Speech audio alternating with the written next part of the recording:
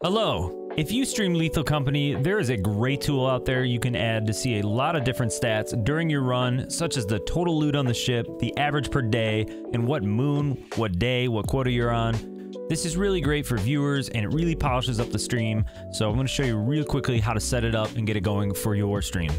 First of all, shout out and thanks to Zehs for creating this helpful overlay. And if you're not already using it, you'll want to first install the Thunderstore Mod Manager. This is just the best way to manage your mods for Lethal Company and other games.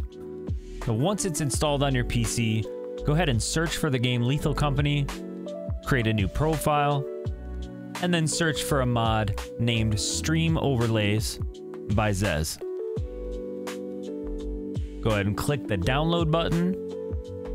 Also click download with dependencies and then you should be good to go. All right, now let's head over to your stream software. In this case, I'm using Streamlabs to stream Lethal Company, but you may use OBS Studio. Either way, open up your scene collection for your stream. Go ahead and add a new source. Look for the browser source option. And then paste the following info.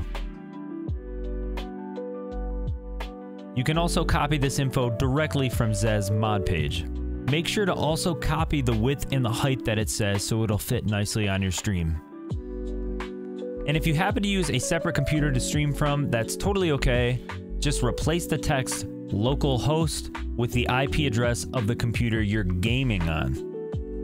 If you're struggling to find the IP address of your PC, open up a command prompt on your gaming computer by clicking start and then typing cmd then you just need to type the command ipconfig space forward slash all. Once you've added both the browser source and installed the mod in Thunderstore, you should be good to go. Just launch the game through the Thunderstore app and start a new Lethal Company file.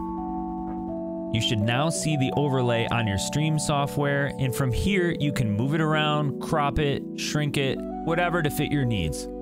And there you go. Now your viewers can keep track of your progress as you play, and your stream has just been leveled up. Now get out there and go be a great, great asset, you little saucy minx.